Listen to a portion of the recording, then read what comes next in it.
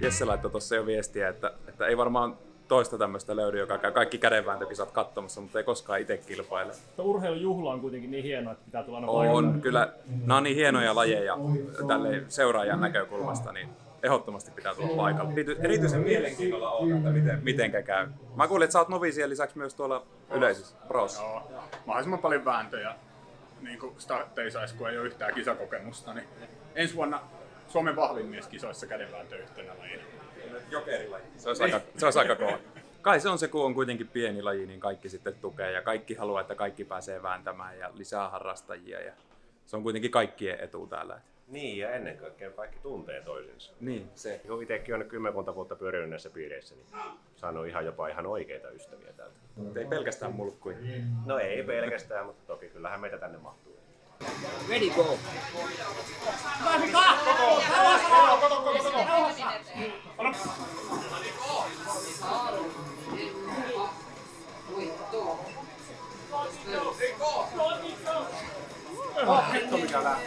Ready, go. Up. Ready, go.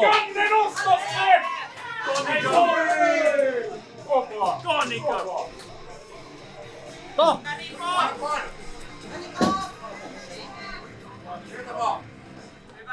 Stop. Go.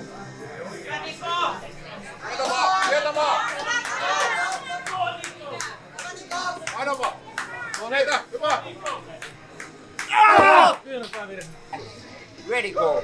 Stop. Go! Stop! Jesse Kynnen. Go! Pöydä. Go! Go!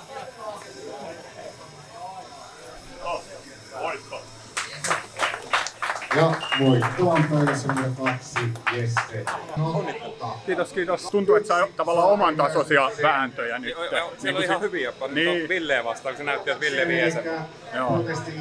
Just toi vaan niinku, etten oo läheskään tarpeeksi niinku nopea. Liikaa jää oottelee muun. Hyvin tiivis tunnelma. No oli se varmaan ihan odotettavissa, että sitä tässä noviisissa pärjää tosi hyvin. mutta Innolla odotan, miten se pärjää noita muita vastaan.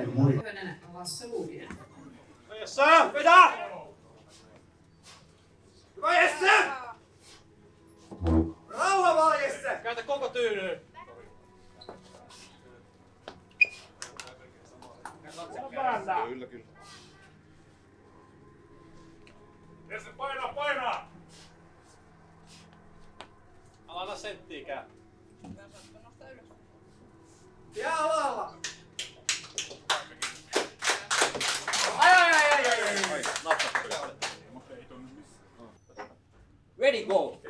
Stop. Tuommoista pitäisi olla, yleisön pitäisi lähteä vähän enemmän Vähän mukaan. napsahti vaan, Vähän mutta- hiljainen meininki yleisössä. Vähän napsahti, mutta ei se mitenkään niinku satu tai paikat napsuu välillä. Jari Viikanen. Mä siinä. Et hävinnyt huonolla. Niin. Voin kertoa. on ihan kova suoritus, kun pistää tolle ekoiskisoissa raskaan sarjan Suomen mestarin polvilleen. Muistan, kun itse aloittelin, niin oli myös suunnilleen samanlaista. Näistä naisten vastaan. Miten helvetti sä oot mennyt naisista läpi? Ei Sano ollut, vaan. ei ollut kutsukilpailu eikä, eikä oo piirimestaruus eikä oo... Moi. Niin, nää on muorimurina. Äitini on kutsunut kaikki nämä ihmiset itse järjestämisen kisoihin. Ready, go! Ready, go! Seuraava pari pöytään numero yksi, Tatu Hörkkö. Ei Jessikään muuten täällä olisi ollut kuin kunnia. Niin, se on tietenkin. Vähän kuin vahvin puolella on toi perunamarkkinoiden vahvin, niin se on se suurin titteli. Ja sen on voittanut viime vuonna Mika Törrö esimerkiksi Suomen vahvin mies ja maailman vahvin mies kisaaja, niin kertoo jotain tasosta.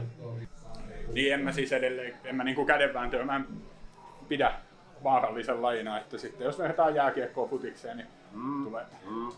No siis jos miettii nyt vaikka sitä, että paljonko tässäkin on lähtöjä päivän aikana. Niin. Ja onko täällä kukaan oikeasti vammautunut vielä, niin ei. Niinpä. Että totta kai kilpaurheilu mikä tahansa, niin kyllähän kaikenlaista käy. Mm.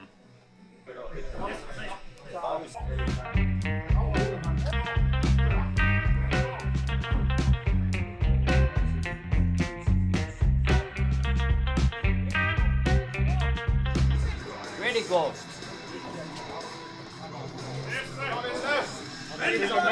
Ville, ei mennä! Saana, Ville! Kulmaa. Anna vaan! Panna, panna, panna! Stop. Ready go. Anna mennä, mennä, anna mennä, mennä, anna mennä! Tarkkana Ville sen kulman kanssa.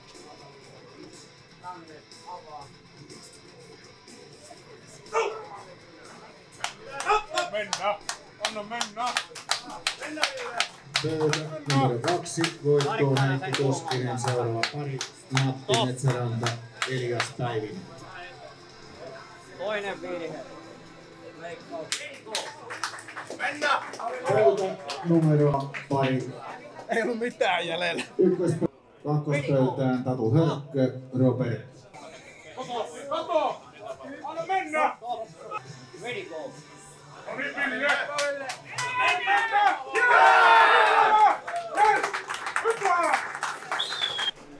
Tälleen kun tekee, niin kohta joku tuossa toisella puolella.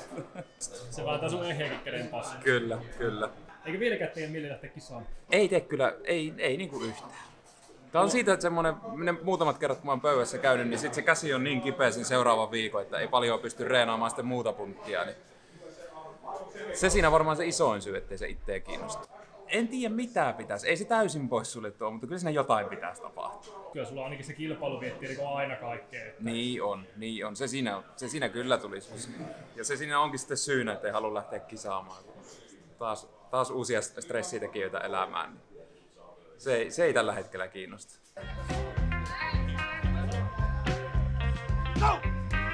ja nyt käännetään viidennestä eli pistesijasta.